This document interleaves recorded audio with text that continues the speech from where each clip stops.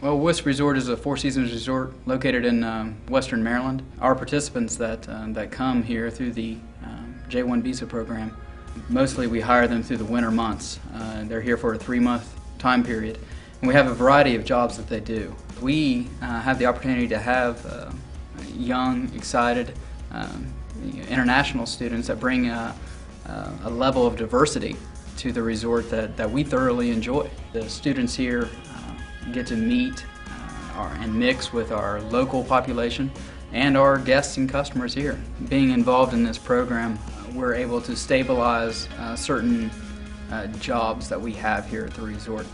The um, unfortunate truth to the rural area that Wisp Resort is in uh, is we don't have enough people in this local area to uh, fill the level of position that we, we traditionally have here, uh, the seasonal, high, uh, recreational, activity-based jobs.